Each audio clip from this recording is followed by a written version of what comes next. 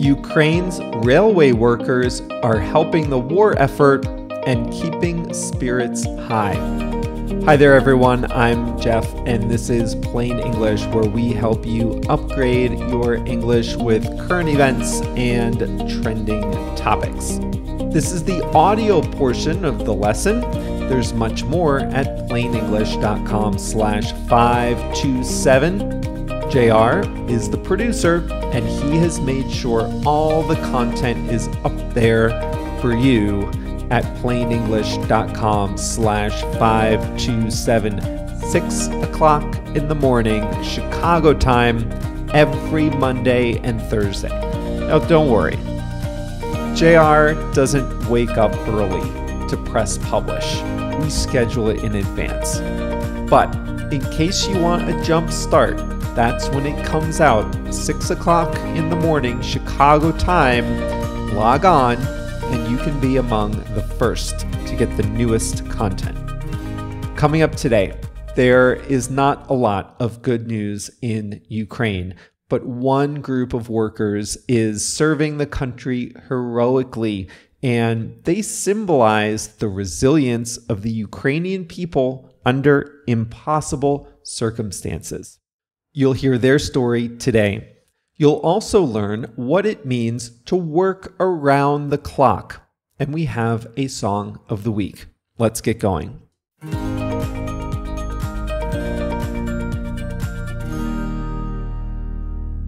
Ukraine has been fighting a war for eight months. Last March, Russia began an unjustified invasion, breaching sovereign Ukrainian territory raining missiles on civilians and infrastructure, and leaving a legacy of torture and atrocity. The war is not going well for Russia, meaning that Russia is not achieving its war aims. Ukraine has recently recaptured critical provinces. Russia's military is depleted. Sanctions are making it difficult to replenish critical supplies. Both sides are said to have lost over 100,000 people to the conflict. There is not a lot of good news. But there are some people who, and this is an incredible story, they're working around the clock to keep Ukraine's people and economy moving and they're serving as an inspiration to the Ukrainian people.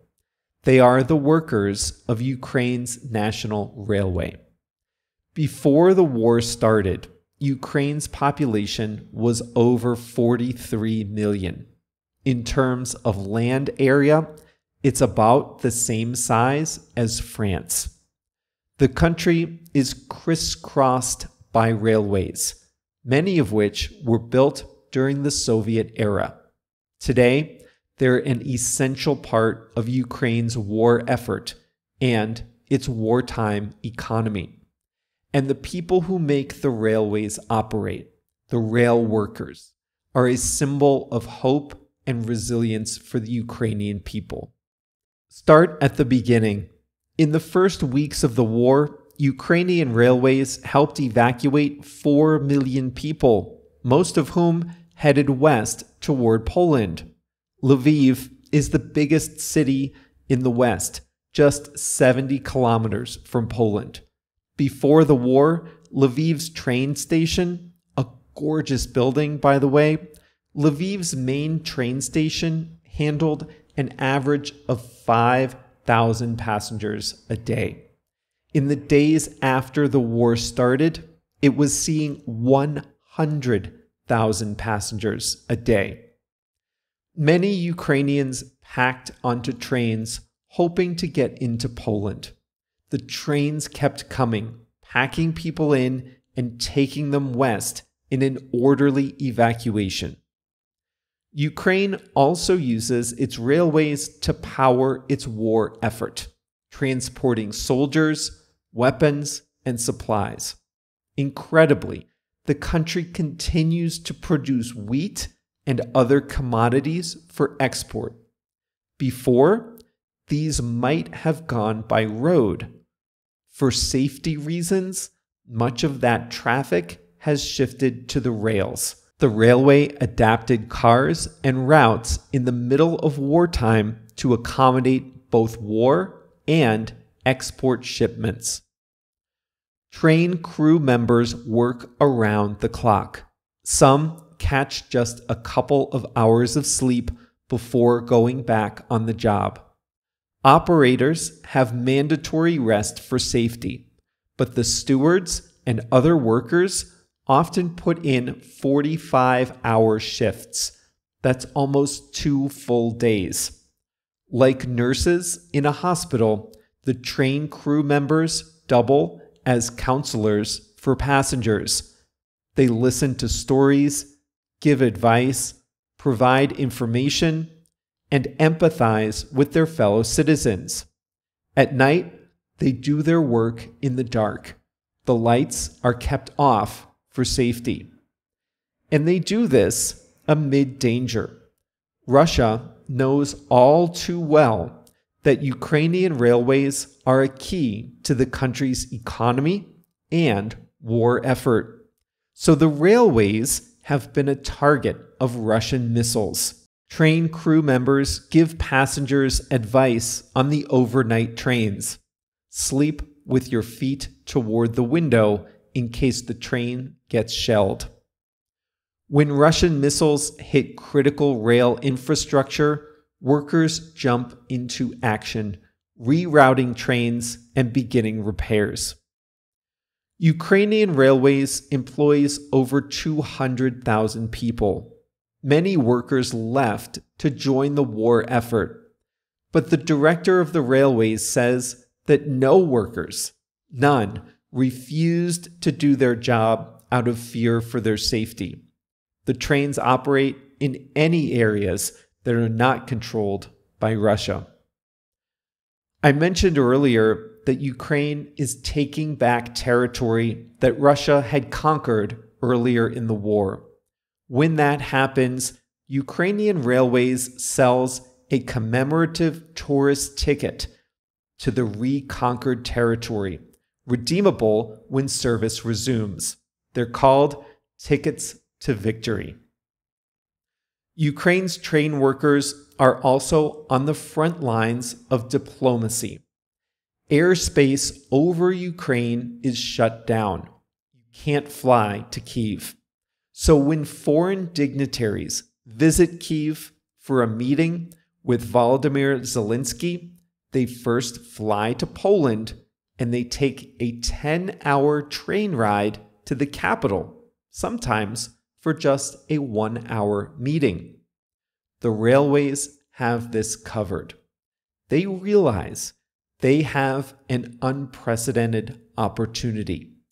They have the captive attention of world leaders for 10 consecutive hours.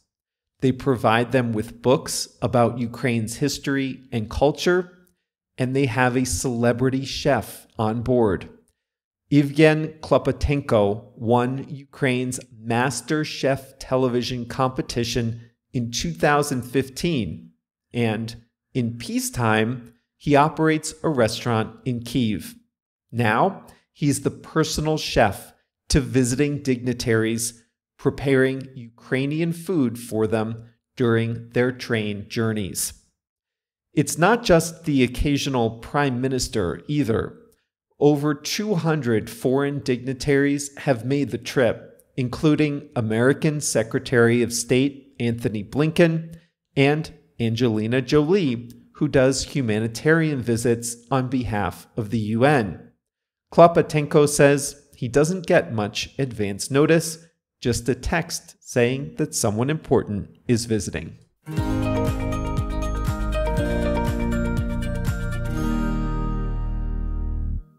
I am in awe of what they are doing.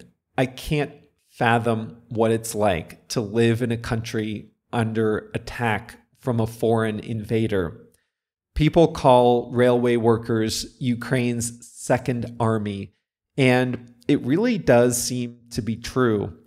The fact that they have this huge national asset, this infrastructure, And in a space of hours, maybe days, they repurposed it to take civilians out of the country, move military equipment to the front lines, now handle exports that used to be on trucks. And the trains still follow a schedule. I am just in awe of what they are doing. So remember this too 165 rail employees have been killed in this war. The railway workers are going to have a special, special place in the Ukrainian history books when this is over.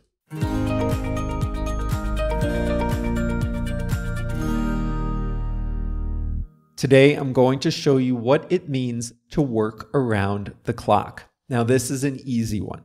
You deserve a break every now and then. To work around the clock means to give extra effort and to work many, many extra hours. The image here is of someone working hard all the time as the hour and minute hands of a clock advance through a full day. Now, this doesn't necessarily mean 24 straight hours. It might mean that, but not necessarily. However, it does mean a lot of hours any time of the day or the night.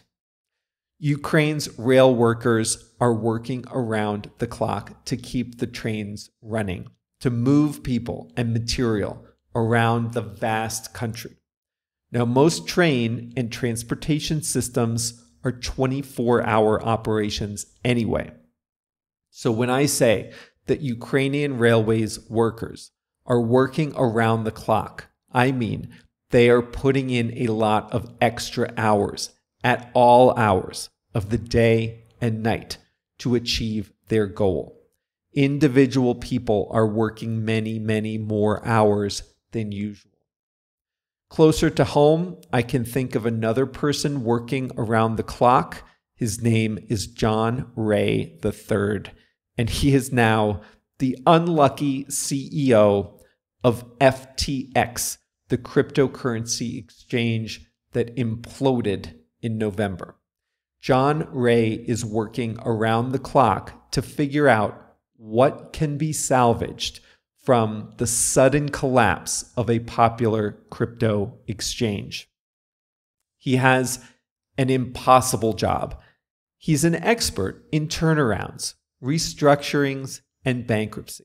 That's a polite way of saying he is the person you call when a big company is in a massive amount of trouble and needs to be rescued, like immediately. So when Enron collapsed, he was the one who stepped in. And now he says that what happened at FTX was far worse than what happened at Enron. So he has his work cut out for him to clean up the mess. Now you can bet that he and his team are working around the clock to salvage some value for FTX customers.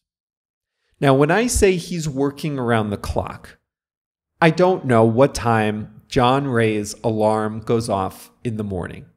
And I don't know what time he climbs into bed at night, or if he even sleeps in a bed. He might sleep on the couch in an office. I don't know. It's not important. But I can tell you this he gets up early and he works until very, very late. He is working around the clock. I think he was appointed at 4:30 in the morning. Imagine what that call was like. He's working around the clock. Our friend Elon Musk told employees at Twitter, the ones he hadn't already fired, the ones who hadn't already quit, he told the ones still at Twitter that they had to work around the clock and be hardcore if they wanted to keep working there. And a lot of Twitter employees took his invitation to quit. Many of them said it's fine to work around the clock for something you believe in. They're not afraid of hard work, but they don't want to work around the clock for an organization that's falling apart and doesn't value them. It's starting to snow in the US. I saw a story that some parts of New York State were expecting three feet of snow. Three feet of snow is a lot, even for the snowiest parts of the country. Now, when that happens, and God bless them, a lot of people work around the clock. First, you've got the people who clear the streets and the sidewalks. With a snowstorm that big, you work around the clock to clear the snow. You can't just wait for it to end and then start plowing. You have to plow the whole time. Next, you have police, firefighters, other public safety workers who respond to snow related emergencies. They work around the clock. Utility companies work around the clock keeping the electricity on. Snow falls on power lines and can cut power. That's not safe in cold weather. So, utility workers work around the clock. And television news also works around the clock. Here's what happens in a big snowstorm in the United States reporters, local television news reporters, stand outside and tell people not for any reason to go outside. And they do this around the clock.